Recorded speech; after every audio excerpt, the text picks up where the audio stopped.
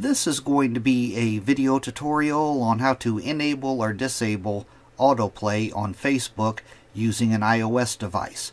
I will be using an iPhone. Let me uh, jump over to my phone here.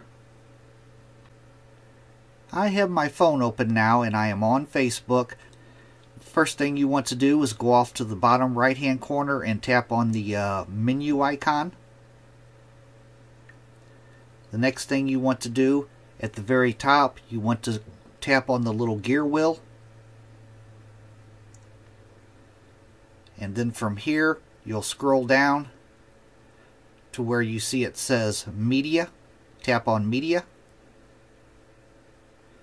Then you want to scroll down just a little ways. Right in this section right here, Autoplay, it gives you five different options. The first option is on mobile data and Wi-Fi. The second option is on Wi-Fi only. That's probably toggled on by default. The next option is never autoplay videos. The next option is video videos start with sound. If you toggle that on, videos will start with sound. And the bottom op option, which is probably toggled on by default, is stories start with sound. So those are your options for autoplay on Facebook.